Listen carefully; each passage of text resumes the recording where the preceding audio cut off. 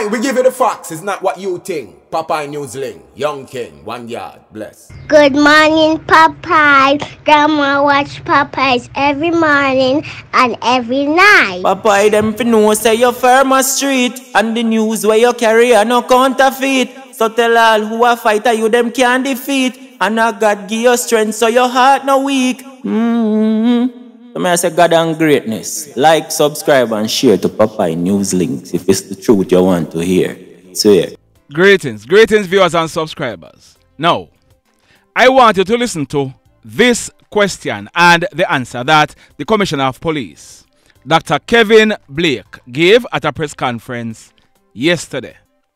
Listen this. Rumors have circulated on social media alleging that Leoda Bradshaw was impregnated by a, a policeman at the St. Catherine lockup she is being held at. Is there any truth to these rumors? Um, and so we heard the allegation and immediately commissioned an investigation around it.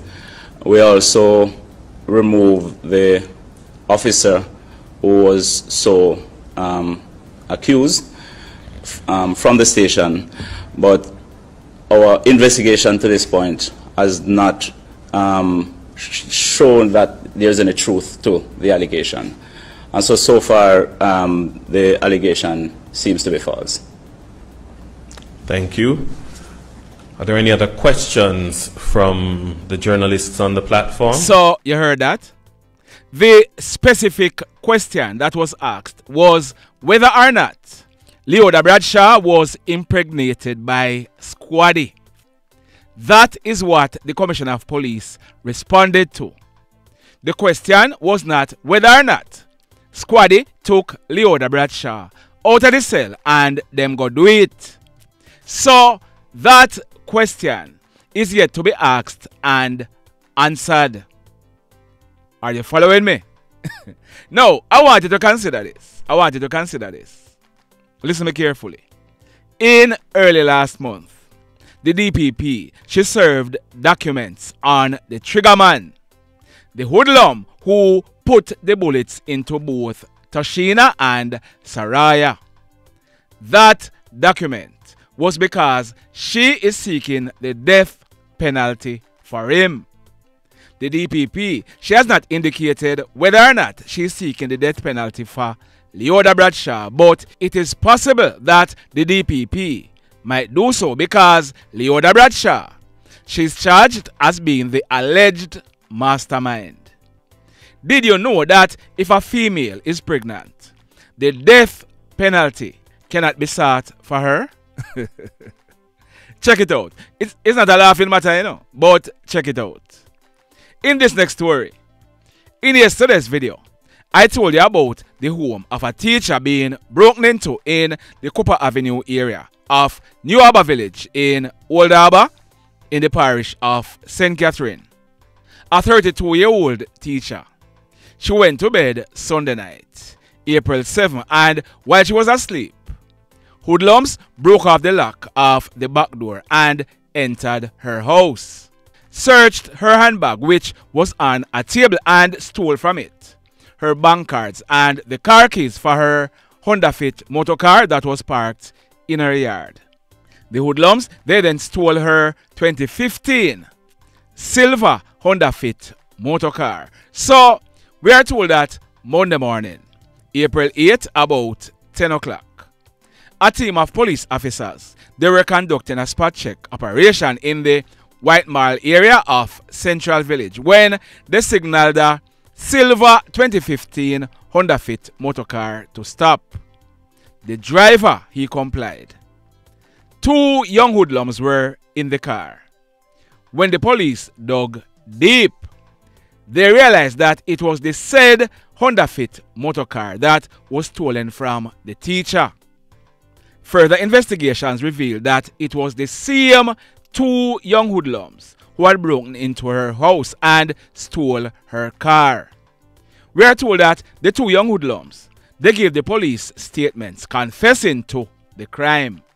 We are also told that the police took one of them to his house and a search was carried out. Several items suspected to be stolen were found at that house. The two young hoodlums are 1. Dante Morris, he is 17 years old and he's living at Bodo in the Old Harbour Bay area of St. Catherine.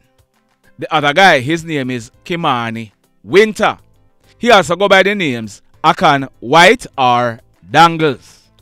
Dangles is only 15 years old, but we are told that Dangles, he has no fixed address and he's a very dangerous guy. We are told that it's a good thing the teacher did not wake up and see them in her house. Otherwise, it is likely that she would have been killed. So, the two young hoodlums, they have been charged for burglary and larceny of a motor vehicle. They'll be going to the courts shortly. Officers, job well done. In this next story, the police, they released that photo on your screen earlier today. That female, her name is Crestilda Lewis, but she's popularly known as Tanya. Tanya, she was born on June 17, 1994, almost 30 years old. Tanya, she's from Nain in the parish of St. Elizabeth, but her last known address was Black River, also in the parish of St. Elizabeth. We are told that Tanya, she used to be employed at a Supreme Ventures outlet at Red Ground in the parish of St. Elizabeth, and hundreds of thousands of dollars went unaccounted for. That is why Tanya is wanted by the police because it is alleged that Tanya is the culprit. So, Tanya, you are wanted. Go give up yourself to the police. In this next incident, I had said Logwood in yesterday's video, but it actually took place at a place named Bacadea in the Green Island Police area in the parish of Hanover. It took place Monday night, April 8 about 11:30. So we are learning that a man, he's living at Rose Heights in Montego Bay. He was in the Bacadea area visiting a friend. He was walking along the roadway when he was pounced on by two hoodlums who opened gunfire at him, hitting him to the left side of his back and the right side of his head. The man, he fell to the ground, and the hoodlums, thinking they had completed their murderous mission, they made good their escape on foot in the area. But the man, he didn't die. He managed to alert someone who called the police. When the police arrived on the scene, the man he was found at the back of a premises in a pool of blood. The police they rushed with him to a nearby hospital where he was treated and admitted in a serious condition. We are told that when the police processed this crime scene, a number of 9mm spent shells were recovered from the scene. The mayhem. In this next incident, I carried a story last week, Monday, April 1. It was about an incident that took place the previous morning, Easter Sunday, March 31, about minutes after 11 o'clock. It took place at Fern Gully in the parish of St. Ann. I told you that a black Nissan caravan being driven by Trevaun Reid of a Waterford address. It had left the corporate area early that same morning with 23 passengers aboard, 16 children, and 7 adults. They were heading to a location in Ocho Rios on an excursion. On reaching the Fern Gully, the driver, who we are told did a burn up road, he lost control of the bus, which crashed into an embankment. As a result of that crash, 49 year old housekeeper Suzette Thomas of a Wildman Street address in Kingston, she died on the spot.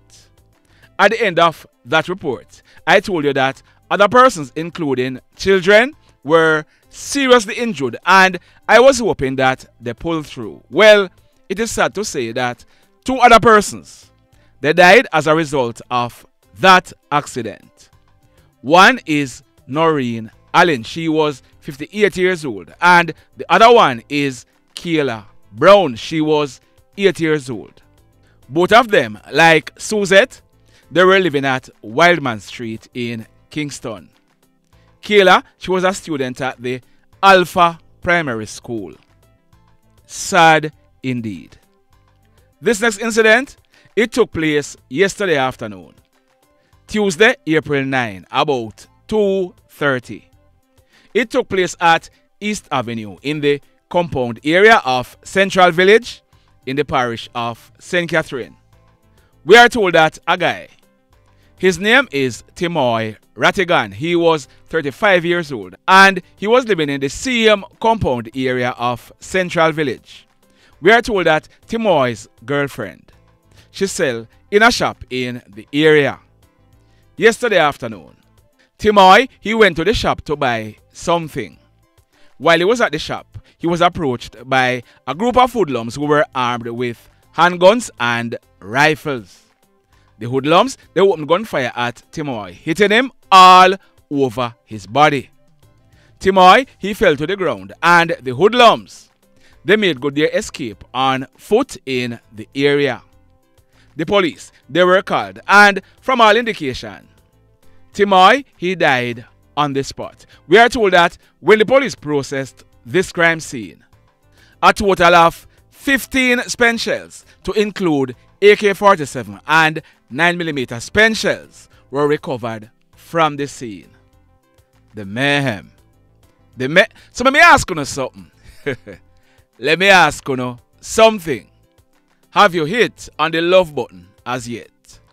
If you have not yet done so, remember to hit on it. Also, if you are over here watching our videos and you have not yet subscribed, hit on the subscribe button as also hit on the notification bell. Then click all so that whenever we drop a new video, you will be one of the first to be notified. In the final story for today, there is a new hotel being constructed in the Green Island area of Hanover. And the truth is, ever since construction started on that hotel, several persons working there has been either shot and killed or shot and injured. It is well known that extortion and other activities is the order of the day at that construction site. That's the reality we face. Persons from all over Jamaica are employed on the hotel's construction site. The latest incident involving workers at that hotel construction site took place last night, Tuesday, April 9, about 8 o'clock. It took place at Newtown in the Cousins Cove area of Hanover. We are told that three steel workers who were employed to the site, they were living at a house at Newtown in Cousins Cove. They are all the way from Llandewey district in the parish of St. Thomas. One of them, his name is Kevin Williams. He was 28 years old. We are told that last night, all three were at home. Kevin, he was in his bed on his phone.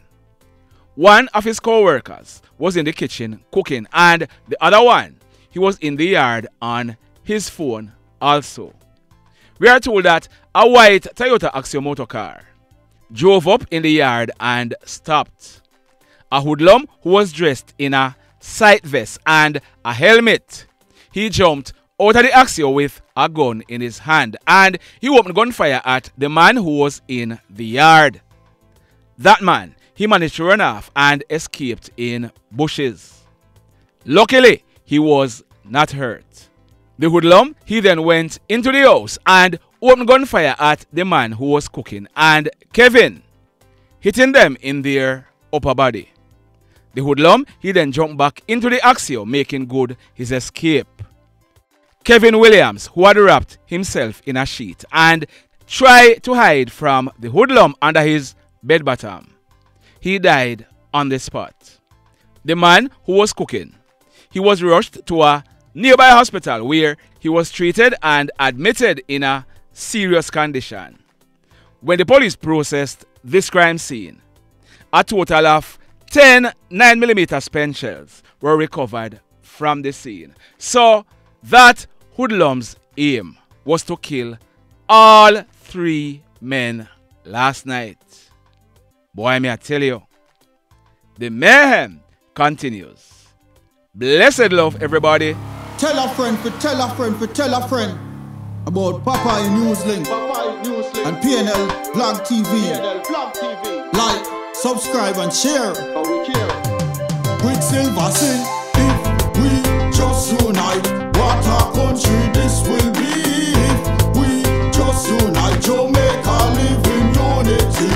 If we just unite. What a country this will be if we just unite. Jamaica it a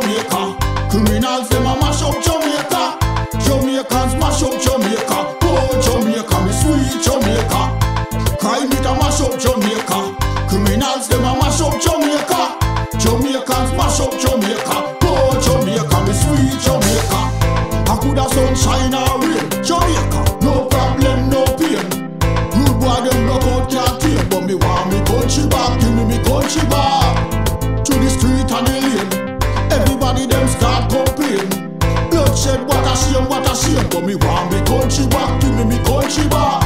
Crime it a mash up Jamaica. Criminals them a mash up Jamaica. Jamaicans mash up Jamaica. Oh Jamaica, me sweet Jamaica. Crime it a mash up Jamaica. Criminals them a mash up Jamaica. Jamaicans mash up Jamaica. Oh Jamaica, me sweet Jamaica. Jamaica, Jamaica, the land of the sun. Jamaica become now the land of the gun. East and north and south when turn. Country and town man a pay blood a run Murder, don't you baby me hear them a murder. Cut it out, tell them no gonna further.